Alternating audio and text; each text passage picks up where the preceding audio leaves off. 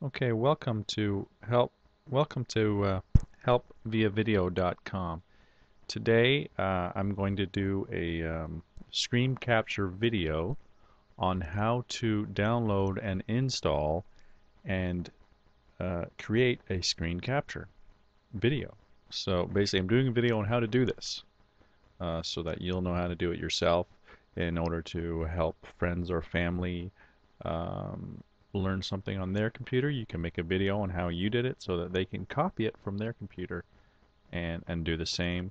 Or you can create a poker video. That's a very popular thing right now where people play poker online uh, with a screen capture of them playing and then show their friends how they played specific hands to help them learn to play like them or not to play like them, depending.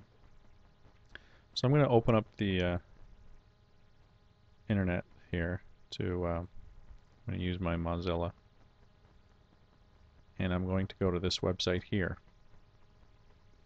This is a free uh, screen capture um, software that you can install.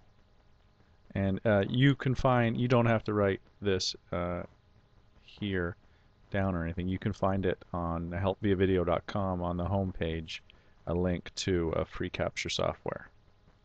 So what I'm going to do is I'm going to, instead of downloading, downloading the free screen capture, I'm going to download the extensions for Windows and then add it in along with a free video converter.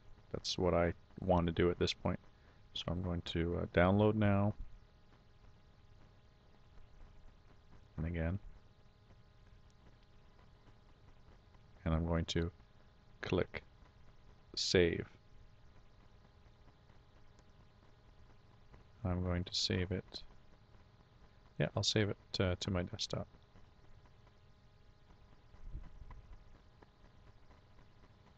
I'd click save here.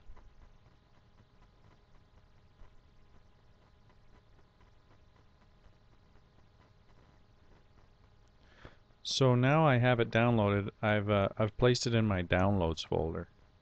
Okay, you can see it here and I'm going to go ahead and install it now. I'm going to choose English, accept the license agreement, and I'm going to change this name. I prefer, I mean, you you can leave it whatever you like, but I'm going to call it Screen Capture. I don't want to start this uh, every time Windows starts up. I'm not going to do a screen capture every time I restart my computer. Uh, it's only going to be, you know, on a, certain occasions that I'm going to use this application. So why do I want it running in the background all the time? I don't, so I'm going to uncheck that. I do, however, want a shortcut to it on my desktop.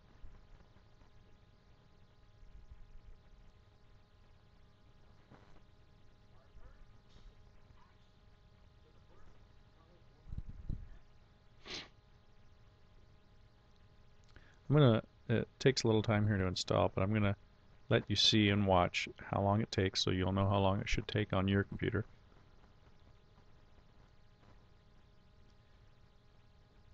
Okay now as you see I have this extensions shortcut here. It, it started up itself. And now I have to install the actual screen capture extension and I want to do the video converter extension. Again, you don't have to do the video converter. This is something I'm doing on the side for myself. I'm going to uh, choose to install and they are installing.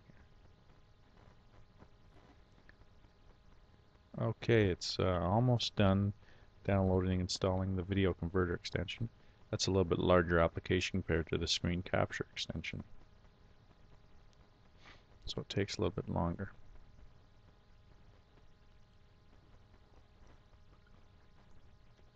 It is now installing it.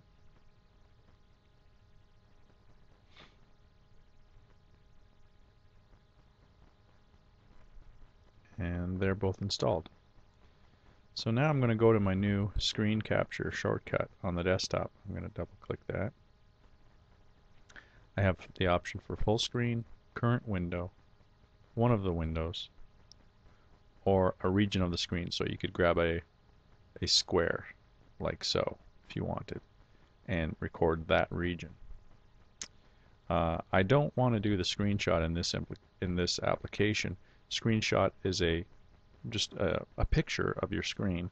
I want to do a movie of the screen showing the mouse movements and I also want the ability to have audio in my uh, movie so I'm going to use animation I'm not going to put it send it via email it's quite it's going to be quite a large file most often so I'm going to make it a movie file.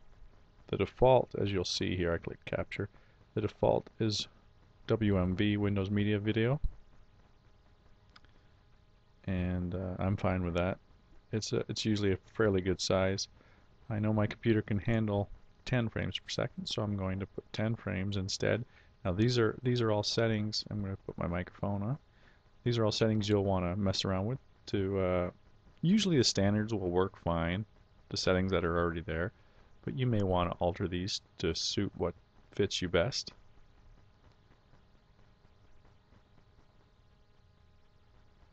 okay so I'm gonna make a test here I'm gonna call it test 4 is going to be my file name of the recording that I make. Okay. So I'm going to replace one that's already called test 4 in there. And we are now recording. Uh, I'm doing a screen capture right now. As you can see, that came up showing that it's recording. So you, when we play back the video, you'll see me opening up the browser. Okay, going to various websites like helpviavideo.com.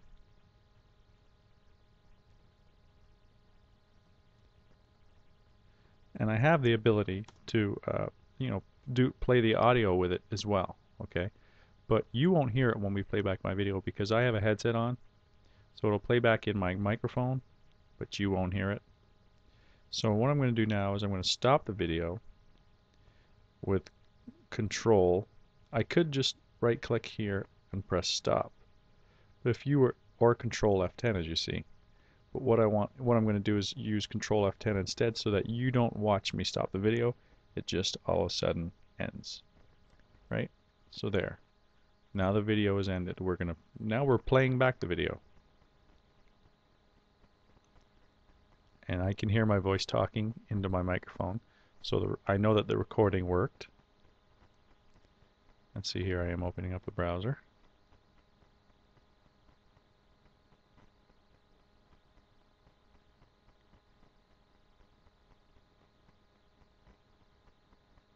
As you can see, I'm a terrible typer.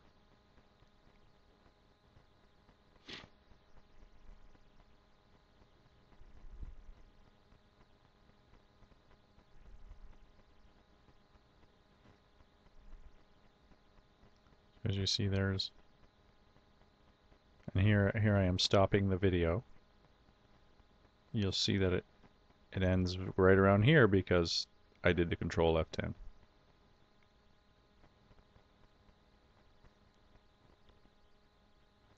there it is stops okay so as you can see that that is how you make a, uh, a video. And uh, screen capture you install the screen that's how you install the screen capture software and how to make a video. And you can also go to various websites but of course the most popular is youtube.com